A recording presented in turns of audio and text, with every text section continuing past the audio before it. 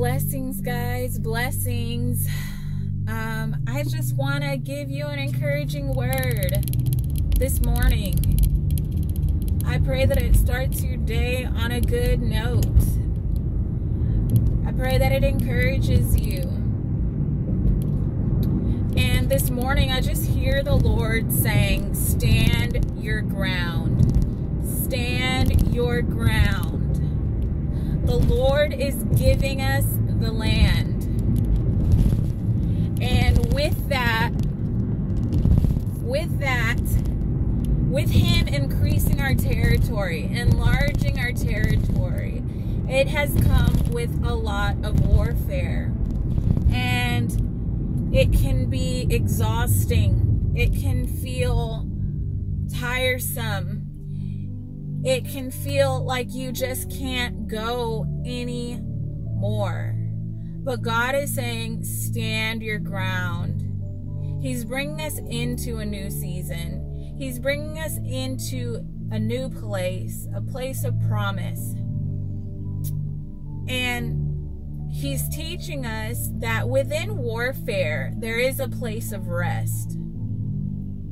Within whatever circumstance we're going through, there is a place of rest. And he really wants to teach us how to tap in how to um, enter into that place of rest despite what your circumstances are.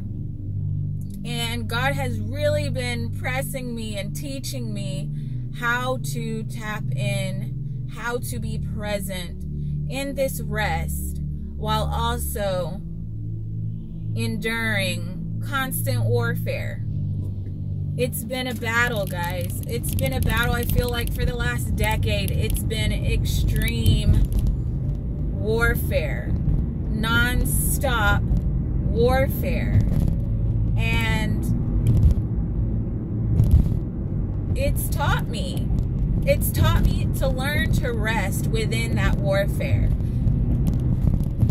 And I had to realize that I'm either going to learn how to rest in His presence I'm going to learn how to rest in the fact that the Word of God says that He's working all things together for my good. And I'm going to learn how to be present to the peace of God within my warfare, or I'm going to die. I'm not going to make it. I'm going to give up. I'm going to have a mental breakdown if I don't learn how to rest within warfare because warfare it doesn't let up. The enemy roars roams around like a roaring lion constantly and he's not going to let up just because you're tired. If anything, he's going to go in more. So God is teaching us. He's he's trying to teach us how to rest. And that rest comes from his perfect peace, from his presence, from times of worship, from hope. Hope is so powerful. The hope that we have in Christ Jesus, that he will fulfill every promise that he makes to us. He doesn't just, he's not like man, just speaking, um, you know, empty words. If he's given you a promise, you have to partner with Him with your belief in that promise. And that should bring you peace. That should bring you hope that propels you forward no matter what opposition you face. So, focus on His hope. Focus on the hope that you have in Him. Focus on His goodness. Focus on and meditate on everything that is good, everything that is lovely Focus on how far He's brought you. It may not feel like you're growing, it may not feel like you're moving forward, it may feel like you're stuck or even moving backwards. But I promise you, there has been growth, there has been breakthrough, and you deserve to celebrate that. But the enemy will try to get you to set your sights on something else, on someone else, and you will not experience the joy of the breakthrough that's happening. So I encourage you this morning to to take a look on everything that God has brought you through and how far you've come. And don't be so hard on yourself. You know, I um immediately last night I was thinking, right? And our thoughts just we have to really take our thoughts captive.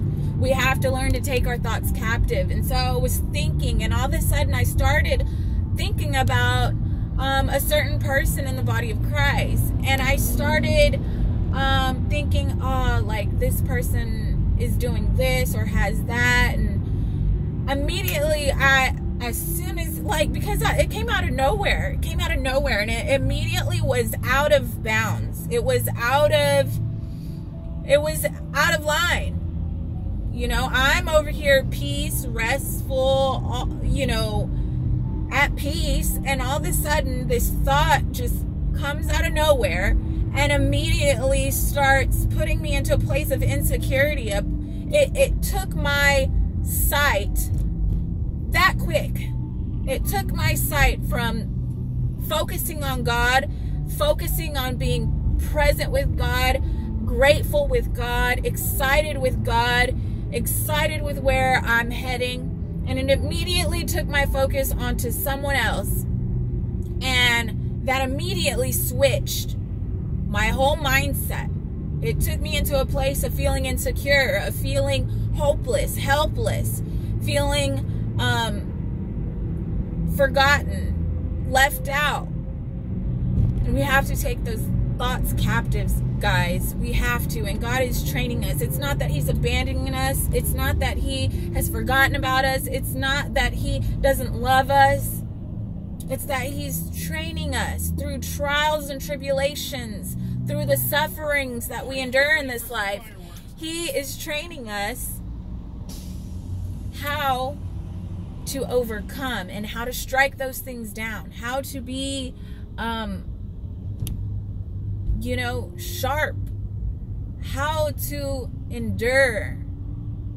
We're growing, we're increasing. He's bringing us into greater territory, He's enlarging our territory. It wouldn't be right for Him to give us, when we come into a territory, our, our territory is enlarged. It comes with greater responsibility, it requires greater wisdom, maturity, um, and, and wisdom. And it would not be loving for him to just throw us into this and not be prepared. Everything that you're going through has a purpose to prepare you for what's ahead. So focus on what is good, what is lovely, and what is coming for your future. There is amazing things for us. There are amazing things for us who have been enduring and faithfully seeking the Lord it's going to be above and beyond what we could even think or imagine. And and he gives us a glimpse of what's ahead. He gives us a glimpse and that glimpse is just enough to keep me going guys. It's gonna be amazing what god is gonna do. It's gonna be amazing. So hang in there. Don't give up. And focus on the good. Be blessed in jesus name